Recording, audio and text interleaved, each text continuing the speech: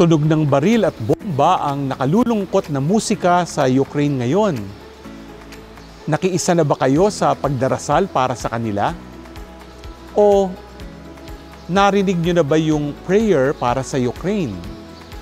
Di ba nakakaantig ng puso kapag napapanood natin sa TV at sa mga social media sites na yung mga nasa ibang bansa nagdarasal din para sa kapayapaan ng mundo?